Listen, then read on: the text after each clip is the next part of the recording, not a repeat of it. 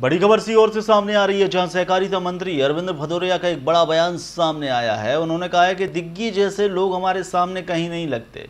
भाजपा की शिवराज सरकार अपना पूरा कार्यकाल करेगी तो वहीं दिग्विजय सिंह पर एक बड़ा कटाक्ष उन्होंने किया है। सहकारिता मंत्री अरविंद भदौरिया खाद्यान्न पर्ची वितरण समारोह में शिरकत करने पहुँचे थे तो वहीं मीडिया के सवालों का जवाब देते हुए उन्होंने यह कटाक्ष किए हैं। तो इसके अलावा उन्होंने यह भी साफ़ कर दिया, कंगना की हिम्मत की हम दाद देते हैं। और कंगना के साथ हम हैं। के खिलाफ उस टाइम कार्रवाई करवाई थी और आपकी भूमिका रही है सरकार बनाने में। उसको लेकर देखिए मेरा बड़ा प्यारा भाई है। उन्हें जाल लगा दी। अंतर तक की आते हैं लीवर किडनी सबको लगा के, मेरे बड़े भाई पे हरजन एक्ट से लेके मेरी माता जी को उठाने का प्रयास किया है। हम एक अलग पृष्ठभूमि से आए हुए लोग हैं, हमारे आदर्श स्वामी विवेकानंद है, भगत सिंह है, चंद्रशेखर आज़ाद है। तो दिग्गी जैसे लोग हमको कहीं नहीं लगते हैं। इसलिए दिग्गी में जितनी ताकत थी, जितनी हिम्मत थी, पूरा ज़ोर लगा दिया। क्या है कि ये सामंतवादी मानसिकता के लोग हैं। मैं कहना चाहता हूँ, मैं दिग्गी को पूछना चाहता हूँ, राजा दिग्गी राजा जी को।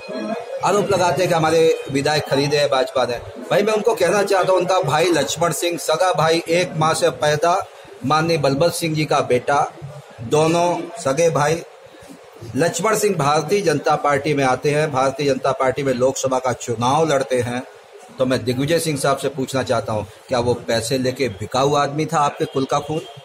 मैं उनसे पूछना चाहता हूँ, क्या लक्ष्मण सिंह बिकाऊ हो पैसे लेके भारतीय जनता पार्टी में आए थे? तो इसलिए ये प्रश्न मत करिए, ये सब लोग जो आए हैं वो आपकी कुशासन की नीतियों के खिलाफ आए हैं और भारतीय जनता पार्टी कंफ्यूजन पैदा कर रहे हैं। मैं आज आपके बीच में कहना चाहता हूँ।